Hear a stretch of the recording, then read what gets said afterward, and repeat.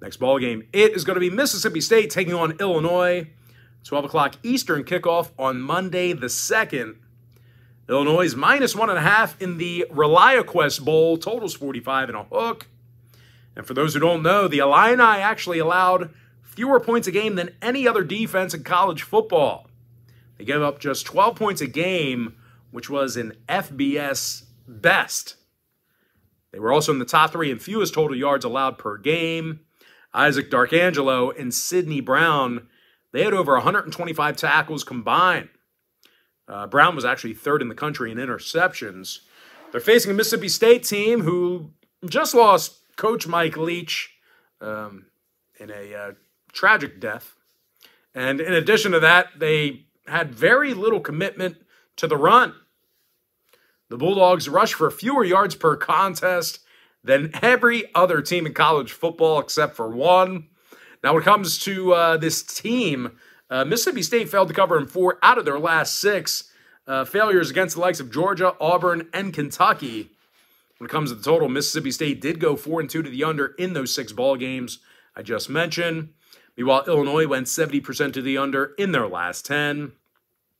When it comes to the uh, injury report, Chase Brown is sitting out for Illinois. Uh, the uh, very good running back, uh, not going to play. Uh, Lowry and McCray are questionable as well. And when it comes to the weather, hot and sunny in Tampa on Monday. I'm going to lean toward Illinois minus one and a half, under 45 and a hook. Next matchup, Tulane, USC, 1 o'clock, Cotton Bowl. USC's the two point favorite, total 63. Now, this USC secondary may have their hands full with Tulane. They're 100 and, uh, they're 112th uh, in the country in passing yards allowed. They also failed to cover against the likes of Utah, Cal, and Arizona. They're facing a Tulane squad who actually won the uh, AAC, and they beat some good teams to get that done. They beat Cincinnati and UCF in back to back weeks for that championship run. They also scored a whole bunch of points down the home stretch. Running back Tyjae Spears rushed for nearly 1,400 yards and scored 15 times. Meanwhile, quarterback Michael Pratt, he ran it in for double digit touchdowns himself. And when it comes to defensive play, the Green Wave had a top 20 secondary. Now, injury wise for USC, Vorhees and Addison are out. Williams and Jackson are questionable. And when it comes to the total, the Trojans saw their last seven straight get over the number. Meanwhile, Tulane went 6 1 to the over in their last seven. Give me Tulane plus two over 63. Next matchup, it is going to be LSU taking on Purdue, 1 o'clock Citrus Bowl. LSU's minus 14, totals 55 and a half. Now, the Tigers beat the likes of Arkansas, Alabama, and Florida this year. They also scored over 32 points a game. And they finished in the top 30 in total yards. When it comes to defensive play, Perkins and Ojulari finished with over a dozen sacks between the both of them.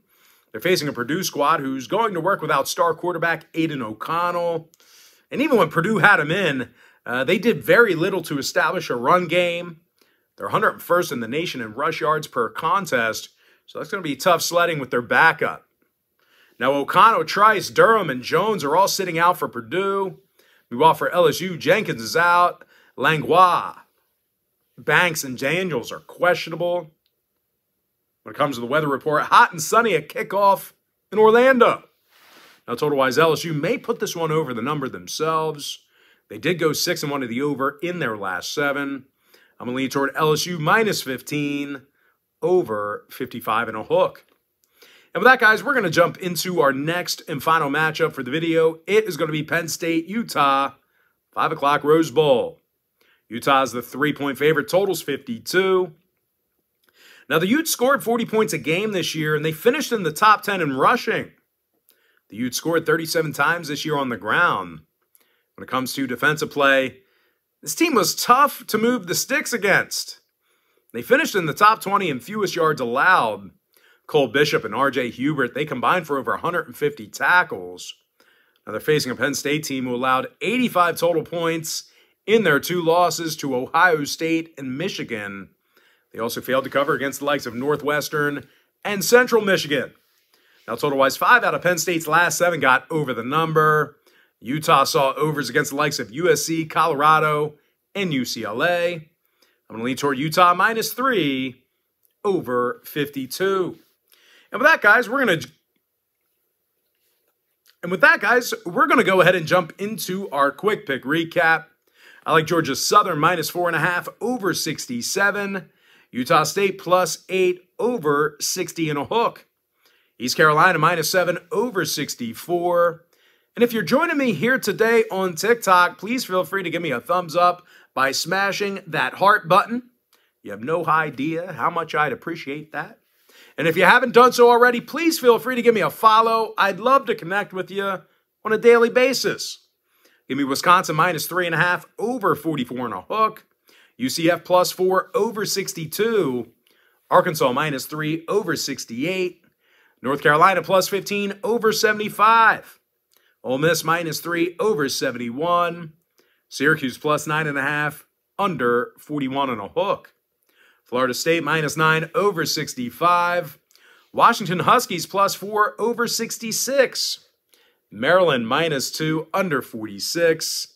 Pitt Panthers plus 6 over 54. Notre Dame minus 3 under 52. Wyoming plus two under 43. Clemson minus five and a half under 63 and a hook. Kentucky plus two and a half under 32. Kansas State plus seven over 55 and a half. Michigan minus seven over 59. Georgia minus six over 62.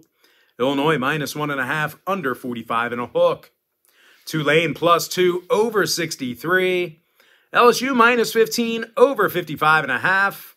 With my next and final free pick, I'm going to lean toward Utah minus three over 52. And with that, guys, that's going to do it for me. Don't forget to check me out on my website. Now, if you guys do end up getting a membership here today on patreon.com slash Brock Page, you're going to get access to that membership for the next 30 days. As an added bonus here, guys, you're also going to get access to all of my cheaper memberships absolutely free. They're going to be included with your purchase. But most importantly, guys, gotta thank you for joining me right here on YouTube. Really hope you enjoyed all this great free content, all this great free information. With that said, guys, happy bowl week to you. Best of luck to you.